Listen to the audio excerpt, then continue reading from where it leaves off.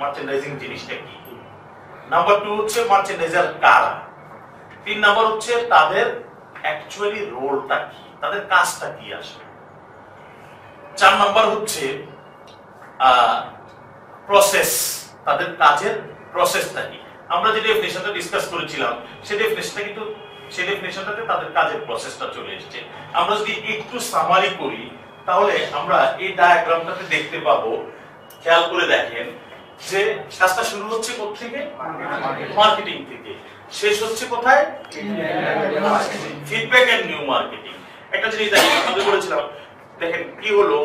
Marketing সে করতেছে marketing এর মাধ্যমে অর্ডারটা আসতেছে অর্ডার আসার পর সে সোর্সিং করতেছে। র মেটেরিয়াল ইত্যাদি ইত্যাদি, এগুলো সোর্সিং করতেছে। এখানে হচ্ছে, এটা হচ্ছে তার ফিজিক্যাল জব সোর্সিং করার পর এখানে প্রোডাকশন হচ্ছে। আচ্ছা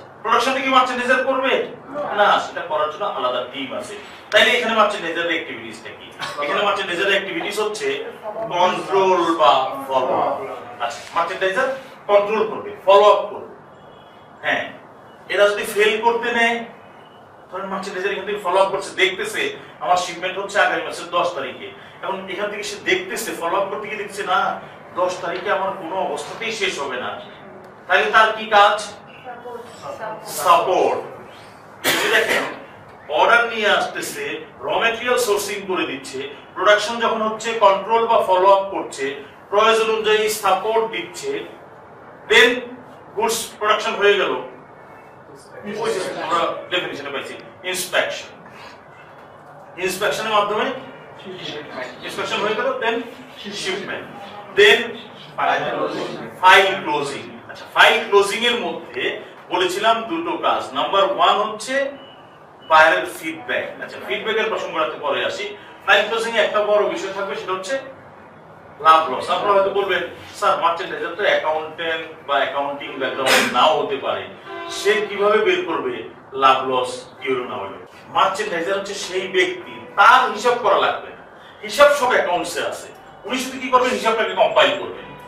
উনি অ্যাকাউন্টস ডিপার্টমেন্টকে বলবেন, এই অর্ডারে এই পর্যন্ত সবকিছু মিলিয়ে টোটাল কত খরচ হয়েছে এলসি আসছে আড়াই লাখ ডলারের সব মিলিয়ে আমার খরচ হয়েছে দুই লাখ ডলার তাহলে আড়াই লাখ মাইনাস দুই লাখ। প্রফিট পঞ্চাশ হাজার ডলার সোজা হিসাব সব হিসাব অ্যাকাউন্টসে রাখা আছে। উনি খালি হিসাবটা কম্পাইল করে সেটা ফাইলটা ক্লোজ করবেন। এটা হচ্ছে একটা কাজ। দ্বিতীয় কাজ হচ্ছে ওই যে ফিডব্যাক পেমেন্ট পেমেন্ট সব কিছু তো বাইরের কাছ থেকে পেয়ে গেছে। পেমেন্ট পাওয়ার পর কি আর বাইরের সাথে কিছু দরকার আছে? টাকা তো পাইয়ে গেছি। কিন্তু না টাকা পাইলাম ঠিক আছে। কিন্তু হিসাব নিকাশ করে দেখলাম লাভও হয়েছে এখন এই জায়গায় গিয়ে তো বিজনেসটা ক্লোজ হয়ে যাচ্ছে। এখন তাহলে কি আপনি একটা কাজ করবেন? শিপমেন্ট একটা দিয়েই বাইরে বলবেন ভাই আগেরটা তো মোটামুটি দিছি ঠিক মতোই।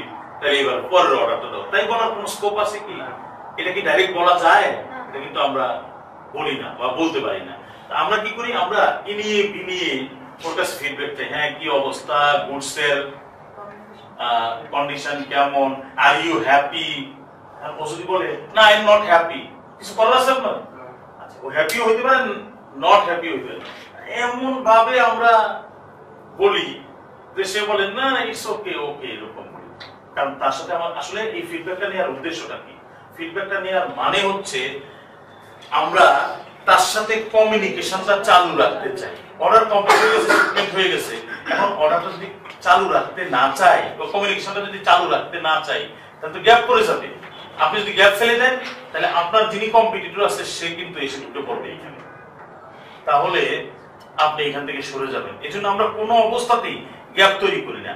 অন্য কেউ এসে ঢুকে যাবে, সেটা কোনো স্কোপ কিন্তু নাই। তাহলে আমরা যে কাজটা করি, সেটা হচ্ছে আমরা শিপমেন্ট হয়ে গেছে দেন কমিউনিকেশন কন্টিনিউ করছি। কীভাবে আমরা বলছি how is the condition of the goods how is the sale sale কীরকম? সেটা দেখছি ওর সেল কেমন সেটা কিন্তু আমার দেখার বিষয় না। সেটা আমি দেখেও যদি বলে, না রে ভাই, ব্যবসা খুবই খারাপ। আমার আসবে যাবে, বলে। আমি কোনো ব্যবসা বাড়াইতে পারব? না, আমি আমেরিকা থেকে ওর কাছ থেকে পাঁচ পিস কিনে আমি বলতে পারব যে, ভাই, তোমার সেল খারাপ হয়েছে আমি নিজেই চলে আসছি। এই যে পাঁচ পিস কিনলাম। তাই আমি করতে পারব কি? সেটাও তো আমি করতে পারব না। তাইলে এটা জানার উদ্দেশ্য আমরা কমিউনিকেশন কন্টিনিউ করছি। এরপর আমরা এক সময় বা যদি বলে হ্যাঁ সেল হচ্ছে মোটামুটি। এরপর স্টপ এরপর আমরা বলি কি আচ্ছা তোমার কি আর কোনো স্যাম্পল ইত্যাদি ইত্যাদি ডেভেলপ করার দরকার আছে কি? তাহলে তুমি আমাদের দিতে পারো। আমার স্যাম্পল রুম ফাঁকা যাচ্ছে। আসলে স্যাম্পল রুম ফাঁকা না স্যাম্পল রুমে অনেক প্রেসার কিন্তু বলতেছি কি, আমার স্যাম্পল রুম ফাঁকা যাচ্ছে। If you want you can use my sample room মানে হচ্ছে এটা বললেই তো ও বলবে যে ও আচ্ছা হ্যাঁ হ্যাঁ আমার তো একটা স্যাম্পল ডেভেলপমেন্ট আছে আমি পাঠাচ্ছি। এই যে শুরু হয়ে গেল কমিউনিকেশন এটা কোন কমিউনিকেশন পরের অর্ডারের কমিউনিকেশন তাহলে দেখেন আমরা কিন্তু কমিউনিকেশনটা কন্টিনিউ করি। কোনো অবস্থাতেই এই কমিউনিকেশনটা কোনো অবস্থাতেই বন্ধ হতে দিই না। তাহলে এইটা হচ্ছে পুরো প্রসেস তাহলে প্রসেসটা শুরু হচ্ছে কোত্থেকে? মার্কেটিং থেকে। আর শেষ হচ্ছে কোথায়? এটাও মার্কেটিং